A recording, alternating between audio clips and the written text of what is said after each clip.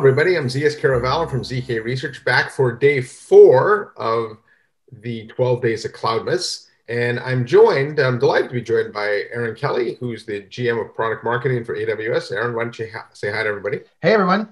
It's great to be here. And uh, thanks uh, for having me, ZS. Yeah, before we get started, though, I want to test your memory as a kid. And I want to ask you, when you remember singing the 12 Days of Christmas, do you remember what day four was?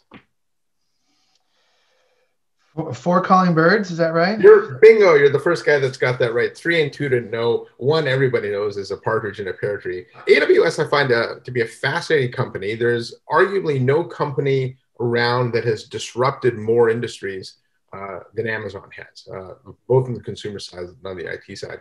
And I recently attended Andy Jassy's keynote at your recent re:Invent conference, and he talked about how Amazon loves to live in these markets that need reinventing. And so you're best known for compute, database storage, all those great cloud services, but you've been in communications now, you know, for a few years. And I'm curious, what was it about the communications industry that Amazon saw that thought it needed reinventing that caused you guys to jump in with both feet like you have?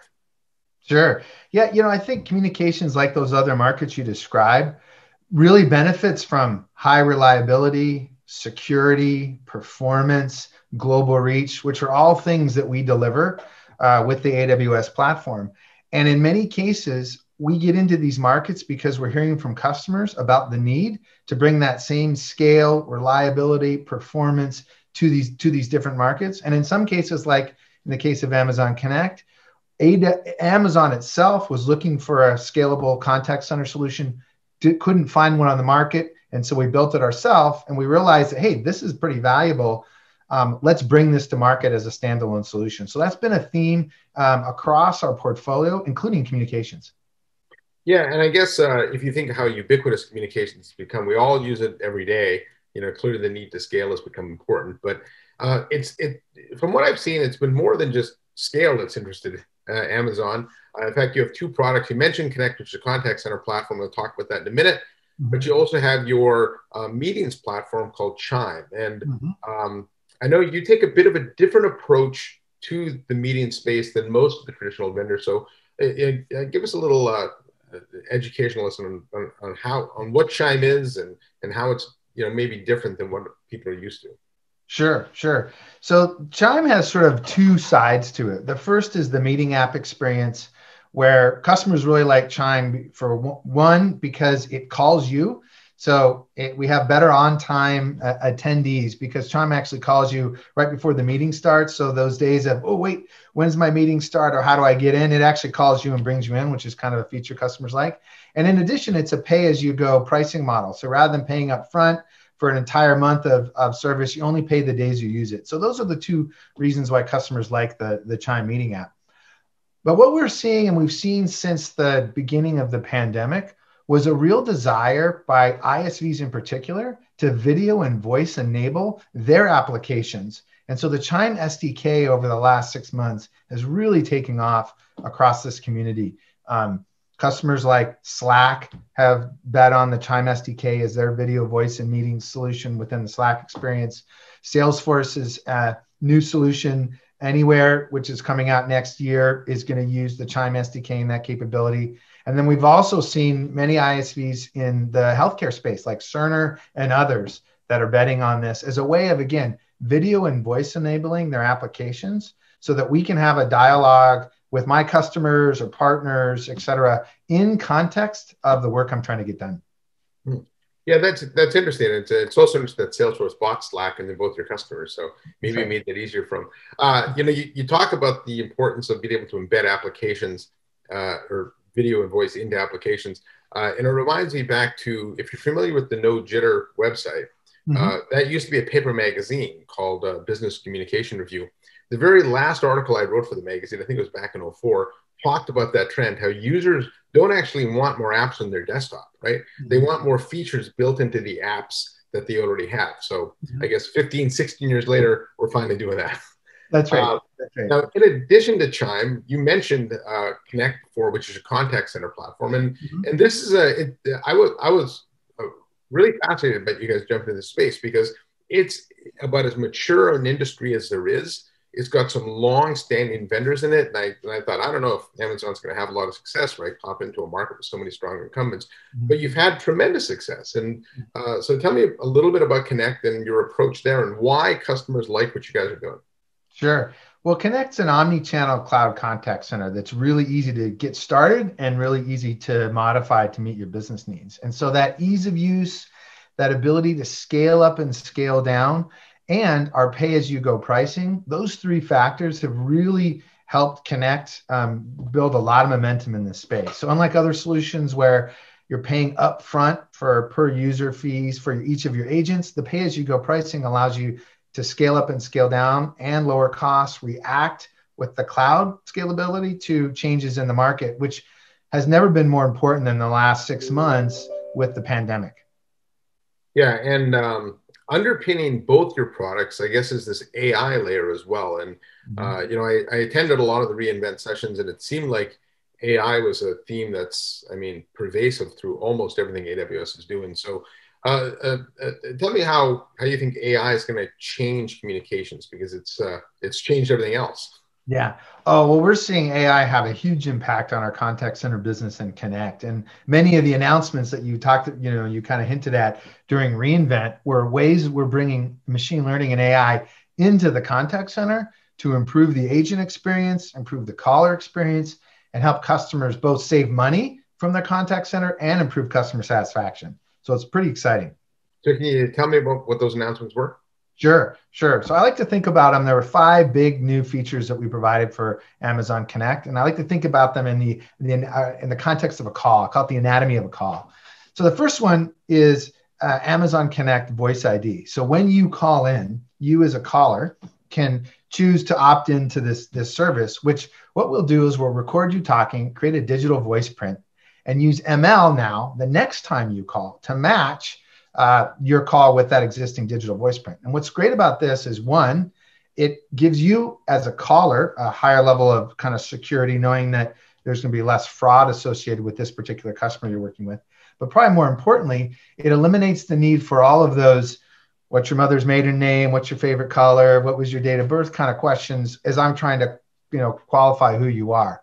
By using the digital voice print, I as an agent would receive a score and say, yep, um, Zeus called and he is above our threshold. That's him based on his tone and volume and pitch. Um, we're going to go ahead and move past those qualifying questions and get going right to what he, what he needs from me as an agent. So better caller experience using ML to do that. Um, and if for some reason you, the call landed below that threshold, I could then do those follow up questions or bring in a fraud specialist. So again, using ML to help improve that initial call experience. The, the second stage, the second big feature is Amazon Connect customer profiles, where now we're bringing together information from different systems into a unified profile so that when you call in, I'm not pecking around in my ERP system or my order management system to find out what, you know, what, what your, uh, your profile looks like. I have it all with me as an agent. That creates a more efficient experience. Traeger Grills was one of our beta customers here. And it's great for their agents because now I know what grill you have so I don't have to ask you. Maybe you don't know the model number. I know what grill you have, so we can get started a lot faster. So we're really excited about uh, customer profiles. Now, the third one is Contact Lens for Amazon Connect.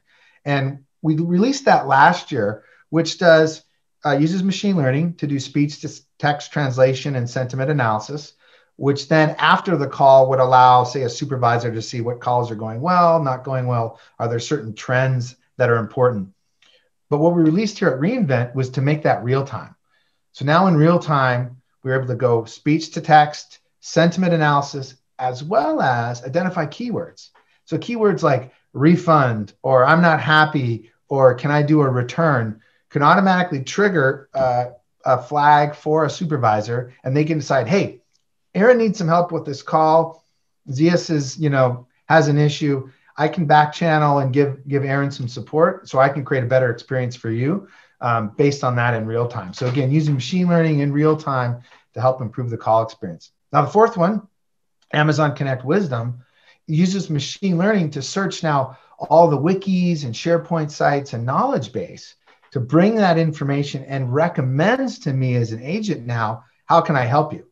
And it is based, I can, as an agent, type in a question or an ask into Wisdom, and I'll get back results across these services. Or it can use the real time input from Contact Lens and in real time push me recommendations based on your question. So if you're asking about a refund or a new product release, I'll get pushed in my wisdom panel um, information about refund policy for this particular grill model or um, you know information about new product releases et cetera so now it's using ml to bring me the information i need so i'm more empowered i'm more informed and i can get your answer faster and then the last one is amazon connect tasks which about half of an agent's time is spent on follow-up items and being able to track that now in the same way that i track calls and chats in the same workflow um, is really is really very powerful. So now as an agent, I get a follow up item like I need to give you a refund. I can create that task. It's now tracked, either assigned back to me or my supervisor can look at across my contact center agents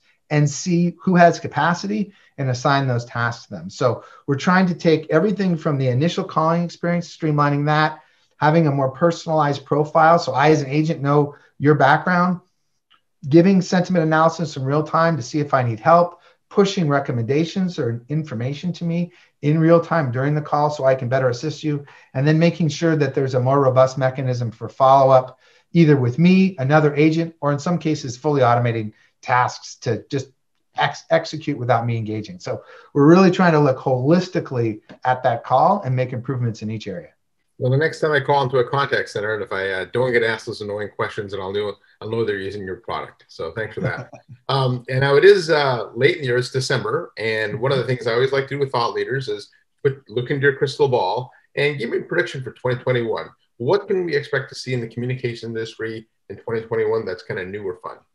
Yeah, I think we're going to continue to see a bunch of momentum in communications where uh, more and more experiences are going to be video and voice enabled in situ. So we talked about, you know, Cerner for healthcare. We're going to see more telehealth. We're going to see more scenarios like that. I think that's one big trend that I see continuing next year. Uh, the second one is we're going to continue to see machine learning and AI playing a role in optimizing experiences, both quality, performance, as well as providing those recommendations to things like contact center agents or even um, employees to help them perform their work better uh, and and better optimize th- those those key experiences. And then the last one is I just continue to see the shift of some of these industries to the cloud for that scale up, scale down, flexibility, agility that comes uh, next year. So I think all three of those trends we're going to see continue to, to happen in in 2021.